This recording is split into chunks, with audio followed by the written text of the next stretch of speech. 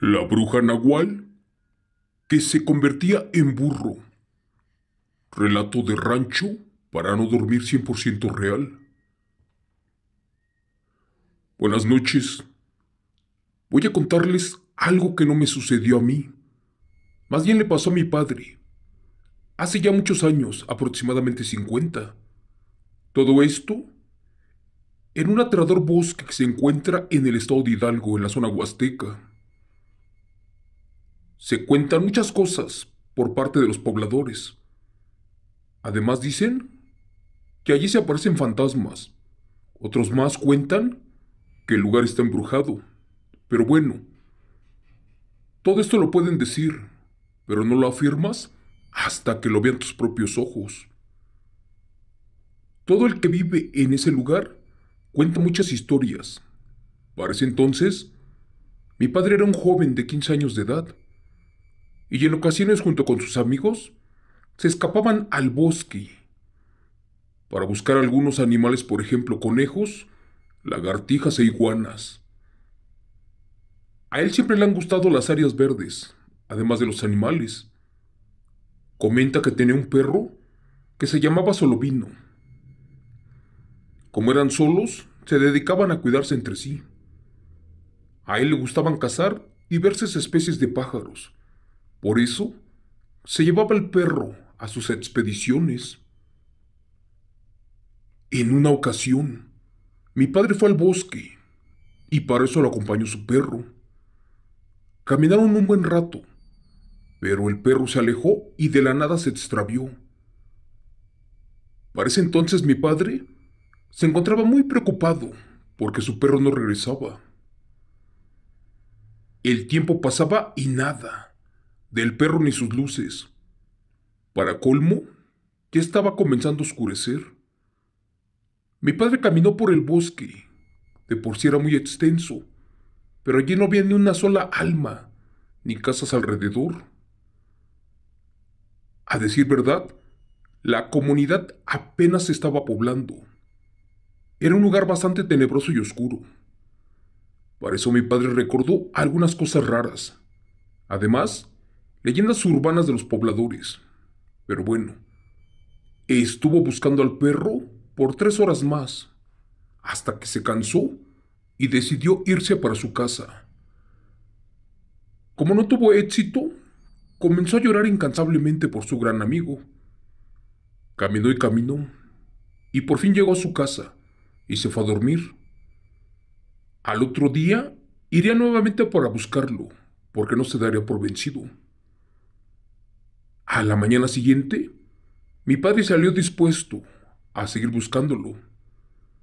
Inició la búsqueda y en esa ocasión se adentró muchísimo a lo más profundo del bosque. Caminó por largos senderos. A pesar de que le llamaba la atención, en esos lugares habían marcas en los árboles y unos círculos que supuestamente no estaban allí. De pronto se vio rodeado por una gran vegetación. Pero algo extraño había entre los árboles, porque entre sus raíces se miraba como si emanara un líquido rojizo, que al final de cuentas parecía sangre. Se acercó un poco más, y fue allí que miró a su perro y a otros animales semienterrados. Algunos estaban cercenados. Había mucha sangre por doquier Alrededor parecía un cementerio, y eso lo asustó muchísimo, y salió corriendo dejando el cadáver de su animal.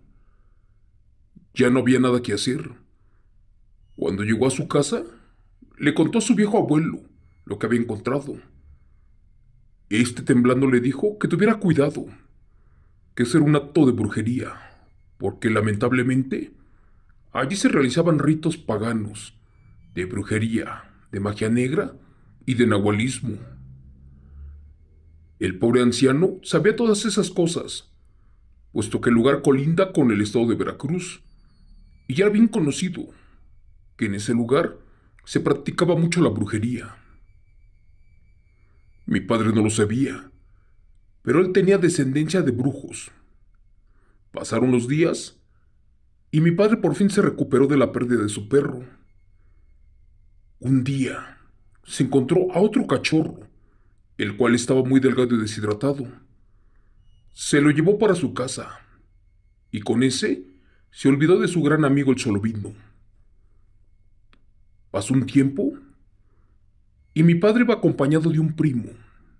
Para eso se dirigían a un pueblo a vender algunas artesanías.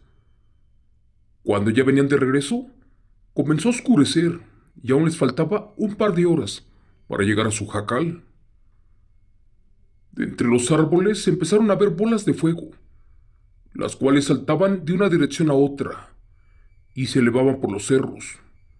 También habían sombras muy raras que salían del bosque, las cuales parecían que eran monstruos. Además, esas bolas de fuego como que metían risas. Ellos comenzaron a correr de la desesperación y no se dieron cuenta cómo llegaron a la casa. Esa noche el abuelo les dijo que unos días atrás se comenzaron a desaparecer bebés, los cuales estaban sin bautizar, pero también perros y ganado, y curiosamente amanecían sin gota de sangre. Los pocos habitantes que vivían por allí estaban muy asustados, pues como era un poblado muy pequeño, rápido se enteraban de los diversos sucesos. Cuenta la historia que cierta noche el abuelo se encontraba muy enfermo y mi padre no sabía qué hacer. Salió en busca de un curandero, pero hasta el mero pueblo. Eso sí, iba lleno de miedo pero bueno, era una emergencia y se tenía que aguantar. Tenía que tomar un atajo para llegar más rápido. Pero algo llamó fuertemente su atención, porque no muy lejos se miraba lo que parecían unas velas, las cuales eran de color negro. Estas ya se encontraban muy desgastadas, porque parecía que tenían días allí. Cuando caminó como 100 metros, más adelante encontró centenares de huesos, los cuales pertenecían a restos humanos. No había tiempo para sentir miedo, ni para ver qué rayos pasó allí. Él siguió avanzando, y mientras lo hacía, se tropezaba con cosas que parecían ser de un rito. Eso era algo satánico, porque había sangre seca, prendas de hombres y de mujeres, además de niños, todas regadas por el lugar. Sentía mucho miedo pero si no se apuraba, su abuelito podía fallecer. Como pudo llegó al pueblo y le dijo al doctor que lo alcanzara, que tenían que atender a su abuelito. El doctor le dijo que sí, se fueron en caballo. Cuando lo revisó, le pidió permiso al niño para pasar la noche allí, hasta que amaneciera, porque había rumores de que algo malo rondaba en el bosque y mucha gente desaparecía. El niño aceptó y no pasó nada. Gracias a Dios, el abuelito pronto se recuperó. Después de unos días, mi padre le dijo al abuelo lo que había visto en el camino cuando trajo al médico. El abuelo le dijo que no había duda, que eso se trataba de nahualismo y de las malditas brujas de la Huasteca, las cuales abrían puertas al inframundo y hacían sacrificios humanos para reencarnar al mar y para despertar a criaturas que no estaban muy lejos. Señor Chemo San Juan, con el tiempo, mi padre y su primo crecieron, si no mal recuerdo. Ellos tenían ya como 22 años. Una vez, se dirigieron a cazar un jabalí. Pero la verdad, se fueron más y más al bosque. Para eso eran las 5 de la tarde cuando por fin se perdieron porque no encontraban al animal. Dicen que de pronto vieron a una criatura de no más de un metro con ochenta centímetros de altura. Mi padre gritó del miedo, porque sabía que eso no era normal.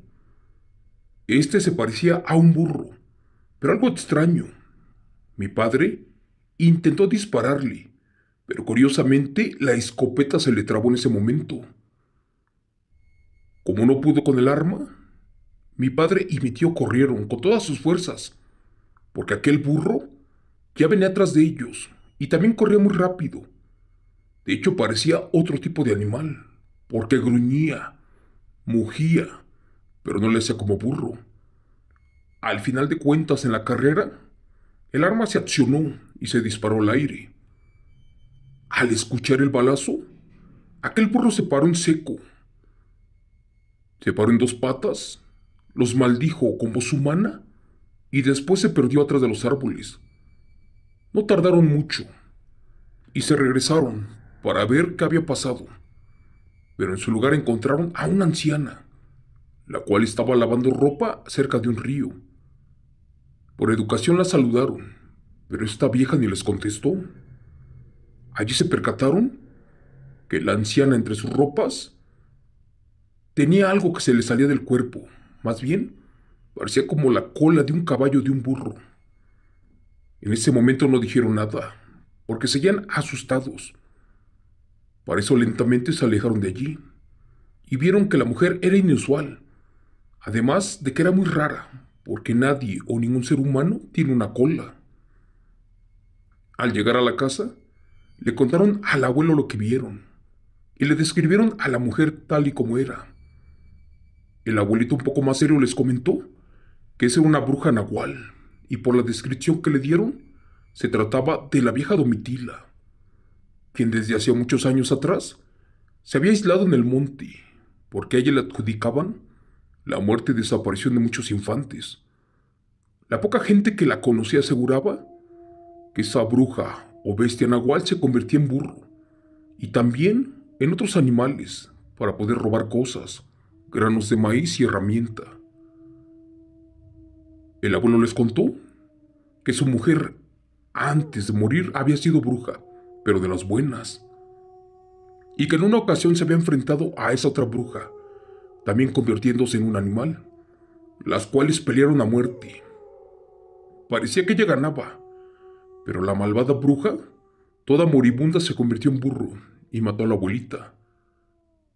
Al otro día, allí entre las montañas, encontraron a la otra bruja, lamentándose por sus heridas, pero con la mitad de cuerpo de burro y la mitad de anciana.